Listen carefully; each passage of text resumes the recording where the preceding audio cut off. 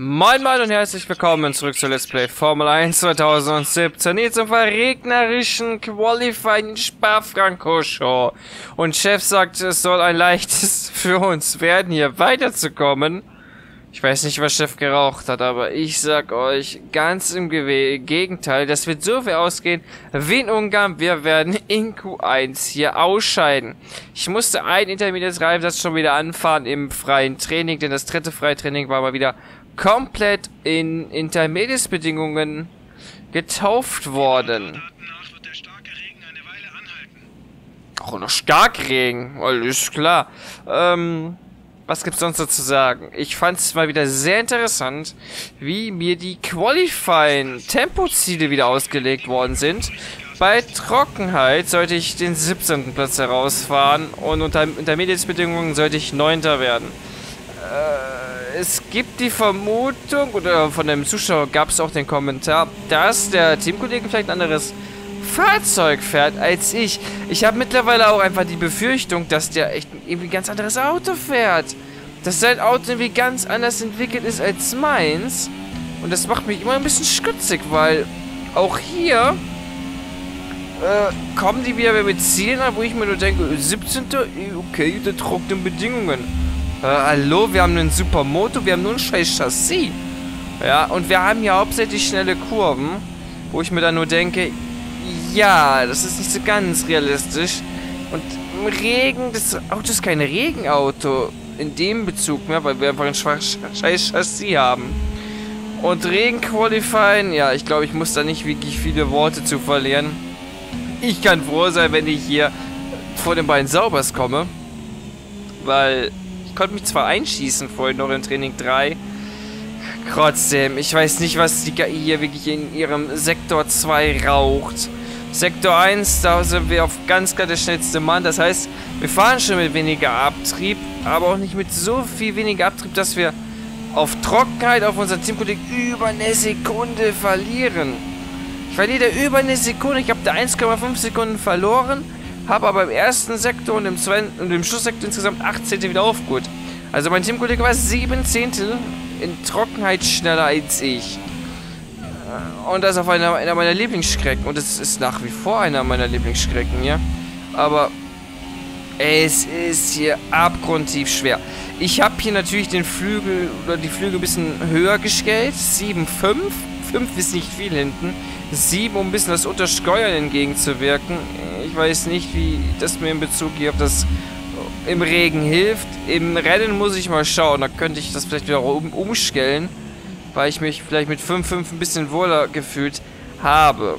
Wie dem auch sei, es geht los. Das Qualifying möge beginnen. 55er Ballons ist logisch. Ist klar warum. Ich mag eher, wenn die Hinterräder ein bisschen mehr die Arbeit verrichten mit Bremsen. Dann die legendäre Rouge, die geht im Regen sogar noch, aber Grosjean, der fährt mir jetzt schon weg. Kurz ein bisschen in den siebten Stand wieder versuchen, früh rauszubeschleunigen. Vorsicht, Curbs. Oh, das war natürlich nur alles noch nicht am Limit hier. Ich habe wohl jetzt nicht ganz so viel Benzin mitgenommen. Also wie gesagt, wenn ich Stall oder Palmer geschlagen bin ich zufrieden. Oh, jetzt kommen wir nämlich in den Sektor, wo die KI so viel gewinnt.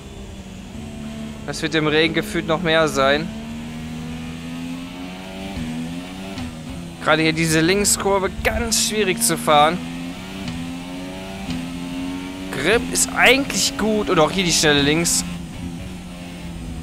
Man kann hier nur Zeit liegen lassen. Perez mit der ersten Zeit. Der muss fünf Positionen zurück. Der hat eine Kollision verursacht im zweiten freien Training mit Carlos Sainz. Keine Ahnung, was er da macht. Und ich sehe schon bei mir die ablaufende Uhr und ich sehe schon, das wird ein mordsmäßiger Rückstand werden. Von 1,3 Sekunden.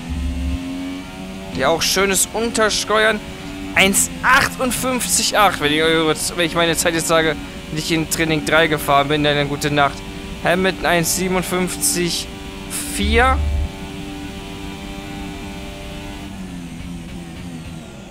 Waschkap-Schikane. Ja, die Paris hat, glaube ich, nicht mal ansatzweise rankommen können. Vergesst es, 2,5. Langsam als Palmer-Fahrer vor mir. Okay, den könnte man kriegen. So ist jetzt nicht. Also den könnte man kriegen. Palmer wäre möglich.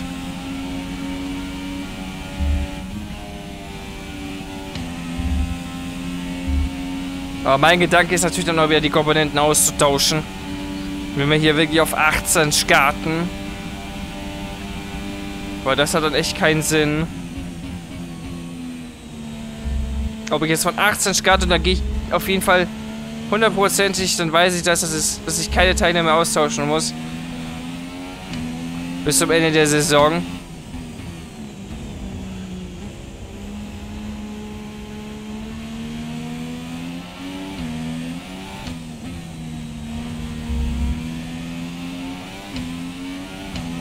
Es ist nur Regenqualify, was mein Problem ist. Im Rennen sieht es immer deutlich besser aus.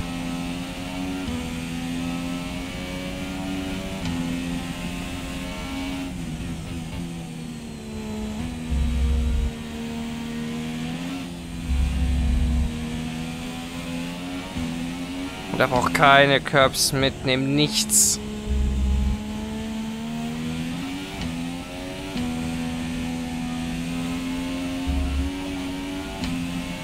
So, jetzt habe ich diese Zehntel Vorlauf. Okay, habe ich rausgefahren. Es geht hier auf jeden Fall noch was. Aufgeben ist keine Option.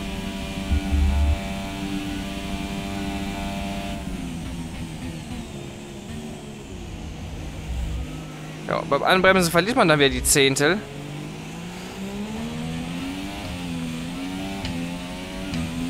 Und schafft somit nicht die Zeit von Palmer.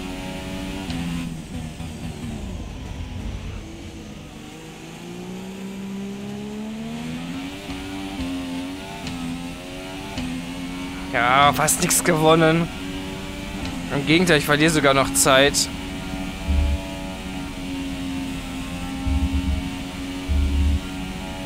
So, hier haben wir ordentlich Zeit gewonnen. Also doch nicht in den siebten Gang runterschalten. Ist doch nicht so vorteilhaft. Okay.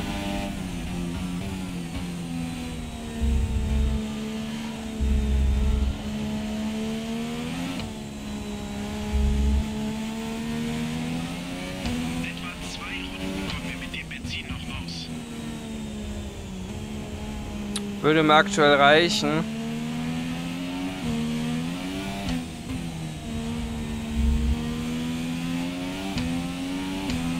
Ah, der Zehnte habe ich, glaube ich, wieder liegen lassen. Oh, hier auch was liegen lassen. Oh ja.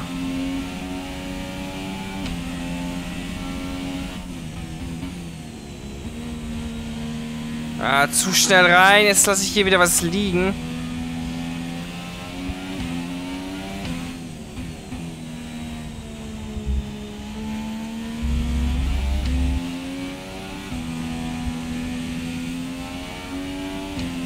Ah, die perfekte Runde ist es bei weitem noch nicht.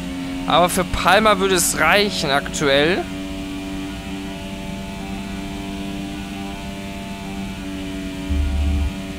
Ah, bin ich gleich vom Gas gegangen.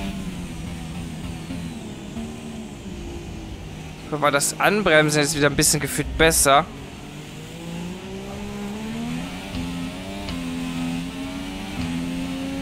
Ja, immerhin Palmer, Fahrer vor mir.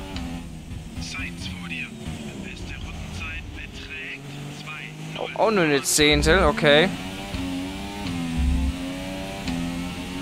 Auch nur eine Zehntel, die hätte ich jetzt sogar.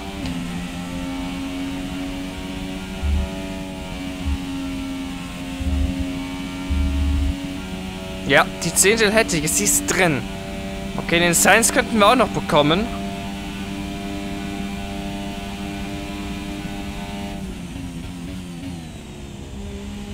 Ah, tick zu spät.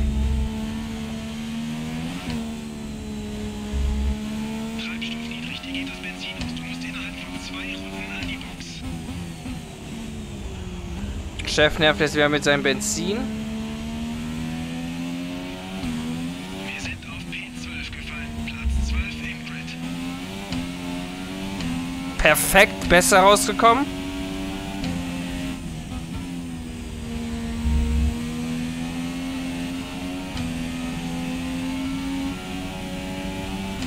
Ja, insgesamt besser. Hier hatten wir uns vorhin ein bisschen verbremst.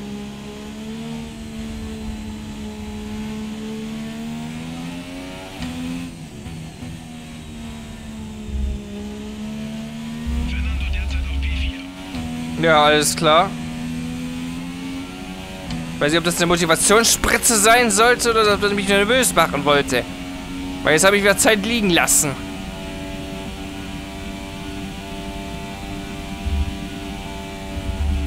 Uh, hat Zeit gekostet. Ah, noch ein bisschen mehr ans Limit gegangen.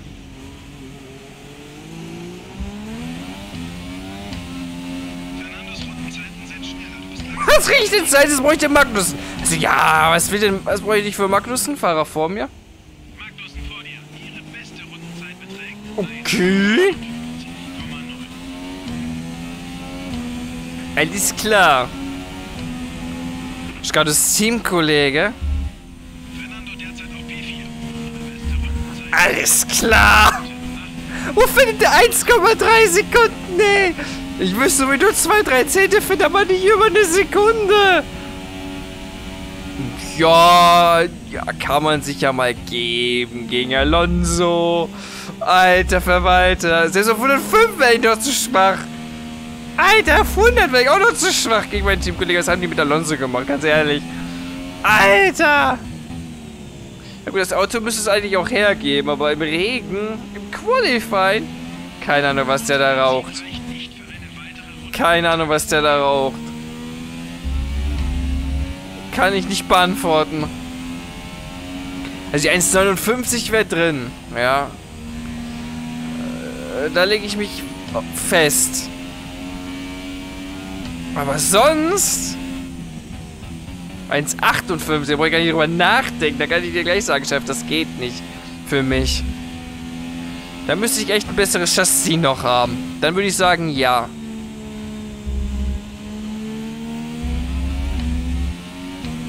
Weil vom Handling her das, ist das Auto natürlich nach wie vor super. Also Magnussen vor uns. Aktuell sind wir auf P11. Ich weiß nicht, wer noch weiter hinter uns ist. Von dem Perez, von der Perez Strafwasser, so werde ich nicht profitieren. Im Gegenteil, der Perez war immer eigentlich da vorne gut beschäftigt mit den anderen.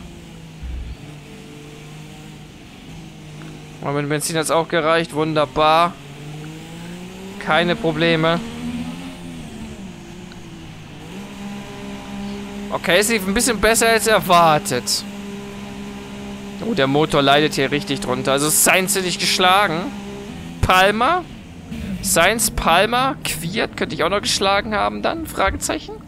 Ericsson und Wehrlein werden dann kein Thema sein. Die haben wir geschlagen. P11. Ich muss mal gucken, wer da noch alles kommt.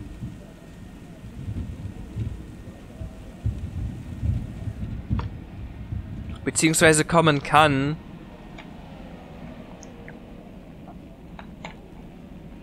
Und zwar wirklich kommen kann. Und es soll schon stark regnen. Obwohl, das stimmt ja auch nicht immer so ganz. Zwölfter. Ja, jetzt waren wir durchgereiht. Ich will mal die Sektoren sein sehen. Ich, ich sage euch, ich bin im ersten Sektor schneller und im dritten vielleicht gerade so. Nein. Aber im ersten bin ich schneller. Ja, um vier Zehntel und im Schlusssektor verliere ich eine Zehntel auf meinen Teamkollegen. Ich verliere 1,7 Sekunden im Mittelteil. Ganz ehrlich. Bis jetzt liegt unsere beste Runde bei 2 Minuten 0,0. Soll ich hier mit maximal Abtrieb fahren? Ey, selbst dann komme ich nicht dahin. Ich verliere auch auf Magnussen da zum Beispiel richtig viel Zeit, ja. Selbst gegen den Science verliere ich das. Also gegen Palmer, gegen Stroll. Ey, das erinnert mich so an... Oh, oh, oh, drei kommen noch. Ne, zwei kommen noch. Oh, das würde reichen. Ähm, woran erinnert mich das so sehr an? Welcher Ableger war das? 2011, 2012, da war die ja eh auch bockstark im Mittelteil. Und wo du dir auch immer gedacht hast, wo holen die da die Zeit raus? Im Mittelteil.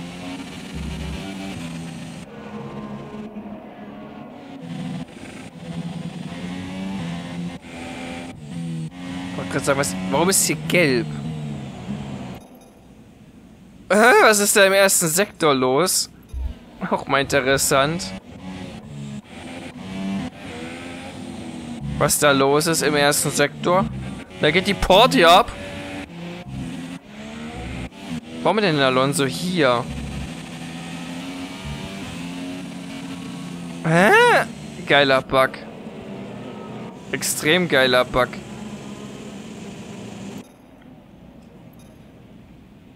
Also wenn ich mit der Zeit weiter bin, dann, äh, ja, weiß ich auch nicht.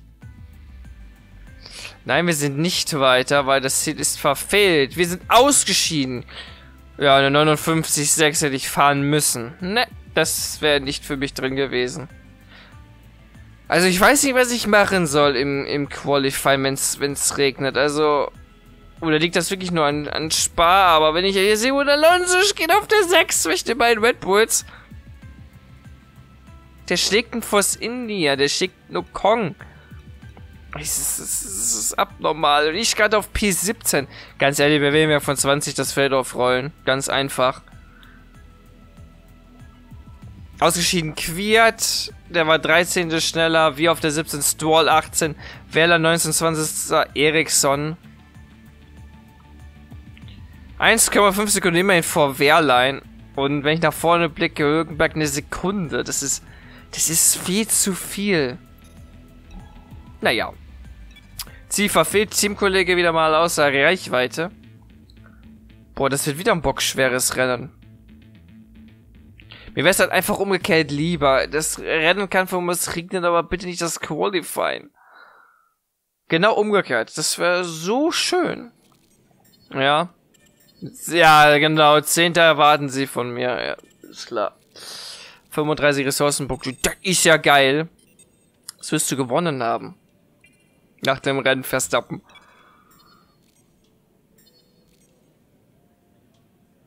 Hier ist sich gar nichts mehr im Ruflevel.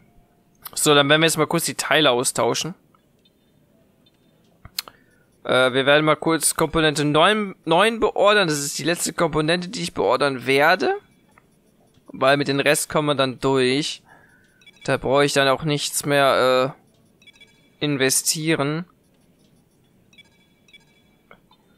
Aber wir werden nicht den neunten nehmen. Die 2% tun kein Kohl Fett. Genauso wie die 29. Jawohl, der, der nehme ich lieber das hier. Ähm, dann hätten wir das auch. Dann hauen wir nochmal kurz die Entwicklung weiter, denn wir haben 450 Ressourcenpunkte gesammelt, beziehungsweise ich habe sie gesammelt, damit wir den Luftwiderstand äh, nach, vorne, nach vorne bringen können. Das ja in der Entwicklung äh, fehlgeschlagen ist. Das hätten wir dann in Italien auf jeden Fall fertig. Dann würden wir den Sprung auf Renault machen. Ja, das ist richtig nice. Renault würden wir überholen. Das kriege ich nicht zusammen. Könnten, können wir vergessen. Also dann müssen wir das hier, das kleine Upgrade dann leider nach ähm, Italien machen. Wurmt mich so ein bisschen weil das wirft mich zurück und wenn das auch noch schief geht, dann noch weiter zurück. Ja, also zwei Sachen sind in der Entwicklung noch und das dritte können wir gar nicht mehr in die Entwicklung schicken. Schade eigentlich. Wir würden aber wieder, wir würden an Force India rankommen. Ob wir die überholen, steht auf dem anderen Papier. Ähm, das glaube ich all allerdings weniger. Aber wir werden in Spa das Feld von hinten aufrollen müssen. Ich hoffe, euch hat's trotzdem gefallen. Ach ja, Renzi, von mir aus noch, liebe Emma. Ist wahrscheinlich wieder eh so Elfter oder besser und ich will in die Punkte. Also ich will nicht, dass hier Spar mein schlechtestes Ergebnis wird in dieser Saison. Das wäre richtig peinlich. Apropos, was sind wir letztes Jahr geworden? Ich glaube, das war auch ganz turbulentes Rennen. Achter. Wir waren in den Punkten drin, okay. In Ungarn haben wir uns nicht verbessert. Okay. Keine guten Vorzeichen keine guten Vorzeichen für mich für Belgien. Also in der letzten Saison haben wir in Belgien Punkte geholt. Ich hoffe, dass wir das jetzt äh, wiederholen können und auch das Rennen ist komplett trocken. Habe ich das euch gezeigt? Ich weiß es gar nicht, ey. Ich bin so müde, ich bin so verwirrt, ich habe keine Ahnung. Aber eins weiß ich auf jeden Fall.